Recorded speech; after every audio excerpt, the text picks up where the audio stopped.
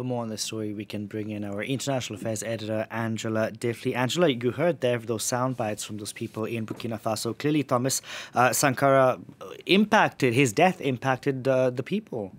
Yes, uh, when he became president in 1984, he was 33. He was the youngest president of any African country.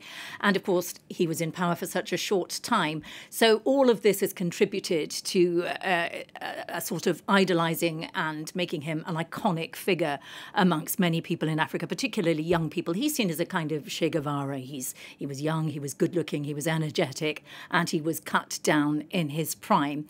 He is a big Pan Africanist figure. Mm. He is known particularly for very fiery speeches at the United Nations.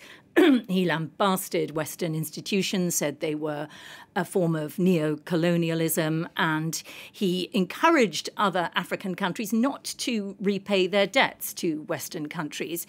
He said that that was simply a knowing way of excuse me, recolonizing Africa, reconquering Africa. So a big Pan African figure. Mm. Within Burkina Faso, he intended to transform the country. He was very left wing.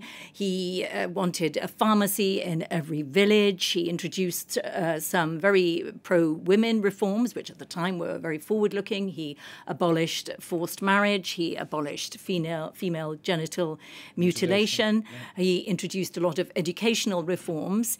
It's possible that had he lasted longer, he might have had a less rosy legacy amongst those who on the left idolized him.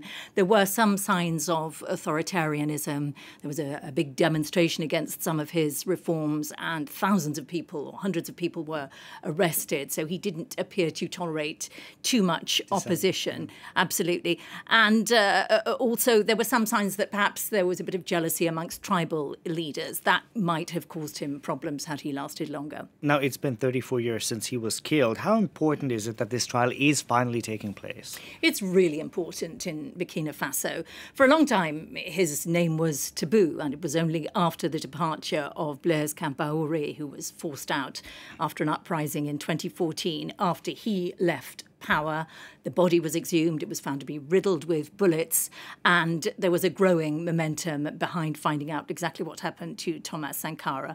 A lot of his supporters are very angry that Blaise Compaoré, who denies all the charges, has refused to attend the trial. Mm. They hoped that perhaps uh, there might be demands for his extradition. That isn't going to happen. In Burkina Faso, they rely too much on relatively good relations with Cote d'Ivoire, where he is a citizen now. Mm. And so so uh, they're not going to push for his extradition. It's very likely that whoever is found responsible behind this assassination might uh, benefit from an amnesty from the current president, Kaboré, because he will be interested in national reconciliation, in national unity, and that's uh, quite a strong possibility. There are some amongst his supporters who suggest that a number of other African countries might have been involved in his uh, gunning down. Libya is mentioned, uh, Cote d'Ivoire as well.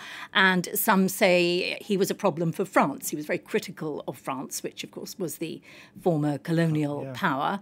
And he's said to have irked Francois Mitterrand, who was president at the time.